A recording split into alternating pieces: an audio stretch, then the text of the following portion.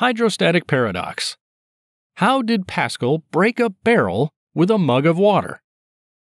In 1648, Blaise Pascal set up an experiment in which he tore a barrel with a mug of water. He attached a thin, high tube to a barrel filled with liquid and began pouring liquid through it. Due to the small diameter of the tube, the height of the liquid column rose rapidly, while the pressure also increased.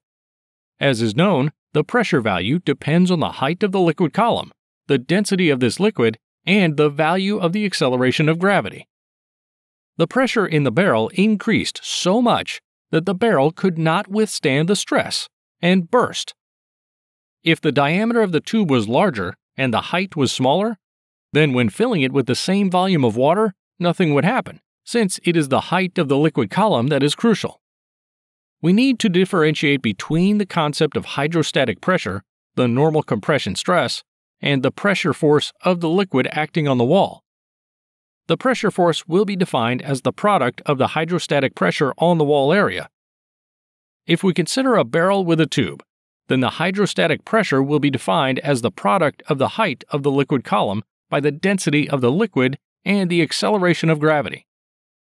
To find out the force with which the liquid will press on the bottom of the barrel, you need to multiply the resulting value by the area of the bottom of the barrel.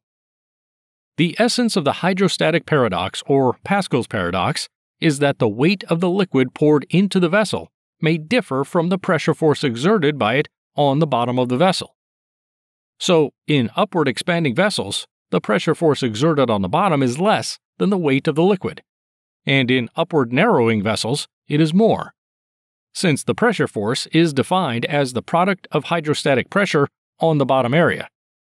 In fact, this phenomenon is explained by the common laws of physics, in particular, Pascal's law.